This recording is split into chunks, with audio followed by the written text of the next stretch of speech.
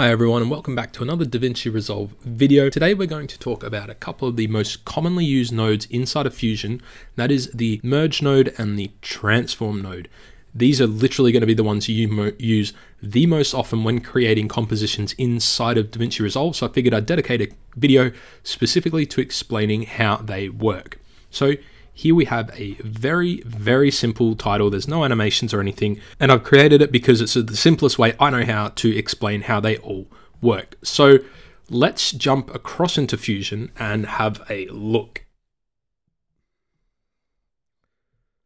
So with our media out node displayed in the viewer, that's how we have everything. It starts with a background node, then we have different levels of text, one on the top, one on the bottom, and then we have our line in the middle, all merged together, and exported at the end. So let's create this effect so that you can understand how it all works. So we're going to zoom out, going to delete all the nodes and start from scratch.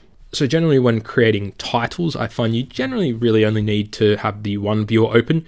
You can have two if you want, but I find one works well enough. So to start off with, we're going to drag a background node in just so we have a base to start creating on.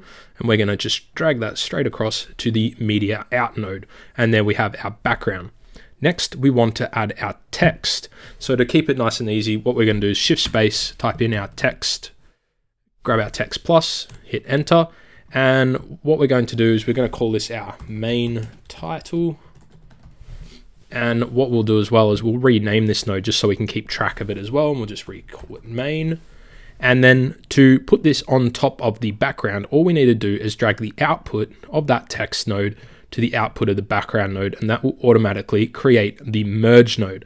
The way this works is the green is the foreground and the yellow is the background. So the background, which is that black solid, is the background of that merge node. And on that merge node, the foreground is the main text font going into the green and then blue is for masks, and then the white square is outputting to the media out node. So let's create our next level of text. So we're gonna, with nothing selected, shift space and create another text plus node. We're gonna put this one down the bottom just for simplicity's sake. We're gonna call this one subtitle. And let's just change it to light just so that there is some sort of difference. And what we're going to do now is drag the output of this onto the output of the merge one node. And you're going to see it creates another merge. And that's because one merge node can only have the three inputs and one output. So obviously the background, foreground, the mask, and then its output. So if we're going to try to drag this again onto the merge, it will have to create another one. And now you can see we have like a little bit of a hot mess at the top here. So with the text node here, let's quickly rename it to sub and we're just going to quickly grab this handle and move it down a little bit. So now let's create the line. And so to do that, again, nothing selected. We're going to hit shift space and create a background. This is going to dictate the color of the line. So we're going to change that to, let's just change it to like a light blue. And let's drag this again. Let's just put it up here for simplicity's sake. So let's grab the output of that background and add it to the output in the merge. It's going to create another merge, and hopefully you understand that, say, let's just drag another text node. If I was to drag that on top, again, it's going to merge it on top, and it works in the hierarchy. So because this is merged on top, if I grab this text node and I'd say, hello world, it is sitting on top of this background because the background is in the merge 3 and the merge 3 is the background of the merge 4 and this text layer that we just created is the foreground of the merge 4. Hopefully that's not too complicated. I think that's the easiest way to sort of explain it. So let's delete those because we don't need them. And let's create a mask for this background node. Now, as you can see, the background only has an option for a mask, nothing for the foreground. So with it selected, we can literally just shift space, type in rectangle, and add it. And it's going to add it to the mask. And now you can see it has created this rectangle and with it selected, the rectangle selected, we can change the properties so we can make it a bit wider, drop the height right down, and then we can, with these handles here, move it into place. And you can see here, we have created the same effect. So the way this sort of hierarchy works is this rectangle node, which is basically a mask, dictates the shape of the background node because it's plugged into the mask. If I was to change this to an ellipse tool, so if I was to delete that add the ellipse, so circle, and plug it into the mask, then we get a circle.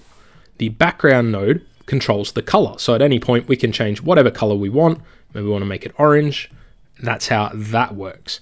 But what if we wanted to control the position of this bar as the bar? Well, right now we can't because the rectangle is its own shape and the background is its own object. So what we want to do is after the background node, so we can have it selected, we want to hit shift space and type in transform.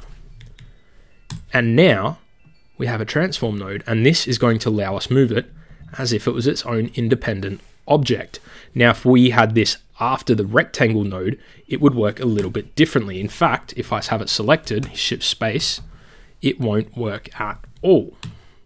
Because now the rectangle is plugging into the mask of the transform node, not the background. And so there is no information being delivered into that background. Again, hopefully that kind of makes sense.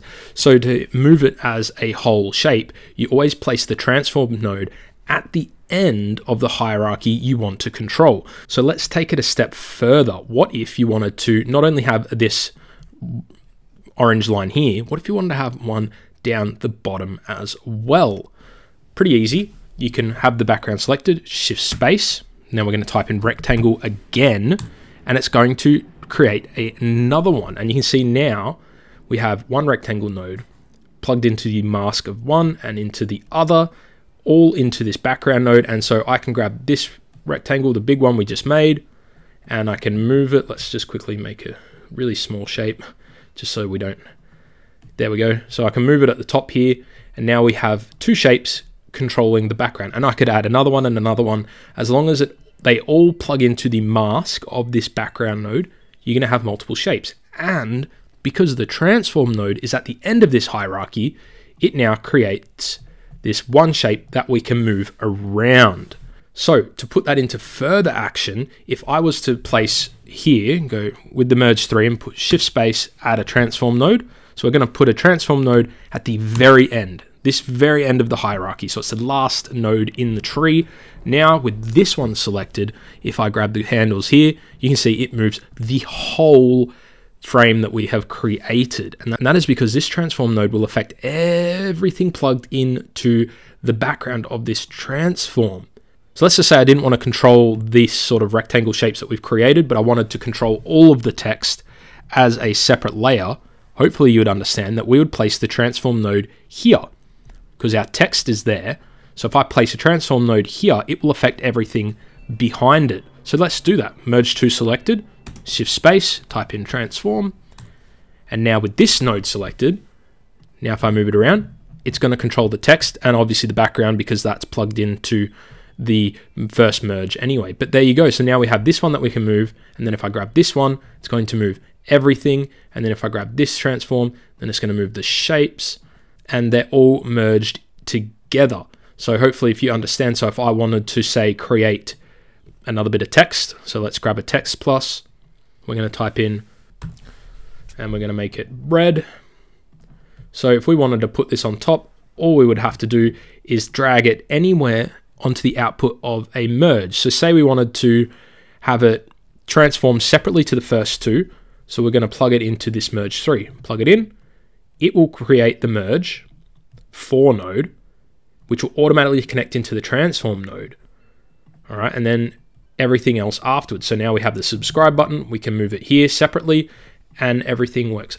Now, this is a bit of a weird case scenario, but hopefully this is a better understanding of how the merged nodes work. Basically, they're just going to continuously create and create and create. Basically, if you want to build effects and you need individual elements, so obviously we've got one, two, three, four, five elements plus the background six. Every time you create a merge to bring them all together, it's going to create that merge node. And every time you add a separate element, even if it's just a picture, let's say we just want to bring in another color, like a background, to bring it into the hierarchy, we just need to drag the output of that node, whether that's an image, background, text, whatever, into the output of the last node. Or if we want it further in earlier in the hierarchy, we can drag it into we can drag the output into this merge node. It doesn't really matter where you put it in the hierarchy as long as you drag the output of what you're creating into the output of that merge. and you can create massive effects. So if we were to say chuck this in the viewer, let's create an ellipse. And then with this one selected, we're going to move it across. And then we're going to create another ellipse. So we're just going to chuck that on. And then we're going to move that one across. And then with this background node selected, we're going to chuck it into the merge one here. We don't see anything because we need to display the media out, chuck that in too. And so now we have these red shapes here that are treated as the background of the subtitle because that's the one that's in front of it. So it's the foreground element, but it's covering the main title that we created because it's plugged into the foreground of that merge node. So it's the now it is now the foreground of that main. I think it's getting a bit complicated. but again, to transform this, shift space, transform, and now we have our transform, and that's going to transform everything below it. Now we can create this like love heart kind of option there. Anyway, that is just sort of a look at how the merge and transform nodes work. I mean, I'm hoping this helps a little bit. Uh, once you understand how these work, everything else gets a little bit easier. Anyway, thanks for watching, guys. See ya.